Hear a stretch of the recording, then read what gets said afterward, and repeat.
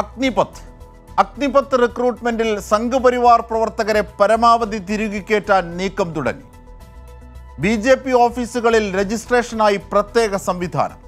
Kasaragod B J P മണ്ഡലം committee ഓഫീസിൽ help desk ഒരുക്കി. സംഘപരിവാർ ബന്ധമുള്ളവരെ ഓഫീസിലെത്തിച്ചാണ് രജിസ്ട്രേഷൻ നടത്തുന്നത്.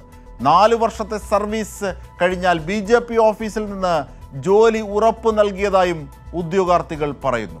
ഉയരുന്ന രാഷ്ട്രീയ ആരോപണങ്ങളൊക്കെ ശരിവെക്കുന്നതാണ് ഈ നടപടി. കാസർഗോഡ് നിന്നും ഞങ്ങളുടെ പ്രതിനിധി കണ്ടെത്തിയ വാർത്തയിൽ അഗ്നിപത് റിക്രൂട്ട്മെന്റിനായി അപേക്ഷ സ്വീകരിച്ചു തുടങ്ങിയതിന് പിന്നാലെയാണ് കാസർഗോഡ് ബാങ്ക് റോഡിലെ ബി ജെ പി മണ്ഡലം കമ്മിറ്റി ഓഫീസിൽ രജിസ്ട്രേഷനായി യുവമോർച്ചയുടെ നേതൃത്വത്തിൽ പ്രത്യേക സംവിധാനമൊരുക്കിയത്. ഉദ്യോഗാർത്ഥികളിൽ നിന്ന് ഇരുന്നൂറ്റി എൺപത് രൂപയും തിരിച്ചറിയൽ രേഖകളും വാങ്ങിച്ചാണ് രജിസ്ട്രേഷൻ.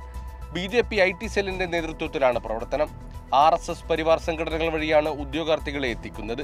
രജിസ്ട്രേഷനായി എത്തിയവരിൽ ഭൂരിഭാഗവും പരിവാർ സംഘടനകളുമായി ബന്ധമുള്ളവർ.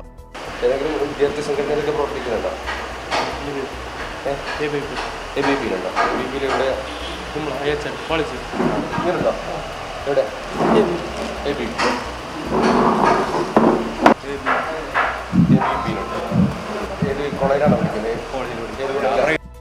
അഗ്നിപത് സർവീസ് കഴിഞ്ഞിറങ്ങുന്നവരെ ബി ജെ പി ഓഫീസിൽ സുരക്ഷാ ചുമതലക്കാരാക്കി നിയമിക്കുമെന്ന് മുതിർന്ന ബി ജെ പി നേതാവ് കൈലാഷ് വിജയ് വാർഗിയ കഴിഞ്ഞ ദിവസം പറഞ്ഞിരുന്നു. നാല് വർഷത്തെ അഗ്നിപത് സർവീസ് കഴിഞ്ഞിറങ്ങിയാൽ ബി ജെ പി ഓഫീസിൽ നിന്ന് ജോലി ഉറപ്പു നൽകിയതായി അപേക്ഷ നൽകിയ ഉദ്യോഗാർത്ഥികളിൽ ഒരാൾ പറഞ്ഞു.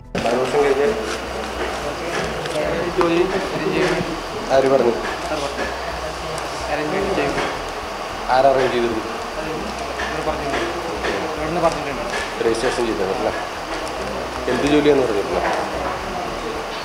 അതൊന്നും പറഞ്ഞില്ല. ജോലി ശരിയാക്കി തരാൻ പറഞ്ഞു.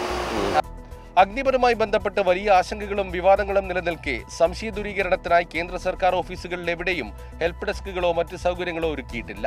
പകരം ബി ജെ പി ഓഫീസുകളെ തന്നെ റിക്രൂട്ടിംഗ് കേന്ദ്രങ്ങളാക്കി മാറ്റി പരമാവധി സംഘപരിവാർ ബന്ധമുള്ളവരെ അഗ്നിപഥിലൂടെ സൈന്യത്തിലേക്ക് തിരികെ കയറ്റാനുള്ള നീക്കമാണ് നടക്കുന്നതെന്ന് ആക്ഷേപമുയരുകയാണ്.